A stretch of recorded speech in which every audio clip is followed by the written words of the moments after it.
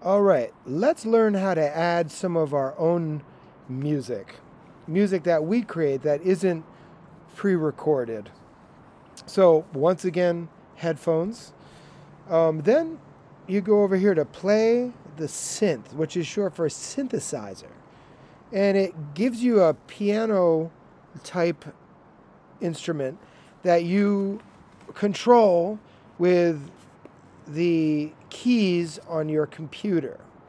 So the first thing that you want to do is to find a few notes that work with what you already have, right?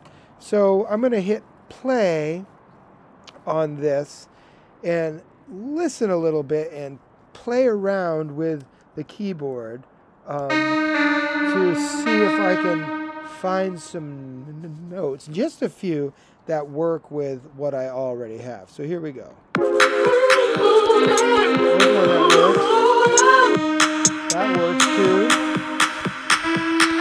There we go. So I found these notes. That'll work. And so now I'm not sure that I like that sound. So I'm going to click here on synths and maybe I'll try to play the bass, right? So we're going to click on the bass and let's go with electric.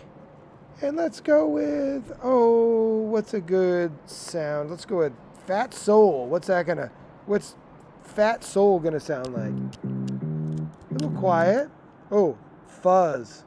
Oh, I like that. Let's, let's work with that. So here we go. I'm going to close that. And then I'm going to go back to the beginning and hit record. It's getting ready. One, two, ready, go. I'm going to wait.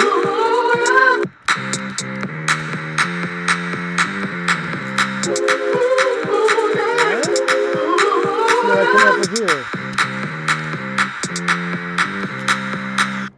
Right? So I think I like that, but that's kind of the idea. And if I want it louder, I click on that volume and make it louder, right? That's how you do it with the synth. Take your time with that. Look for uh, the notes that work. Make sure you hit save.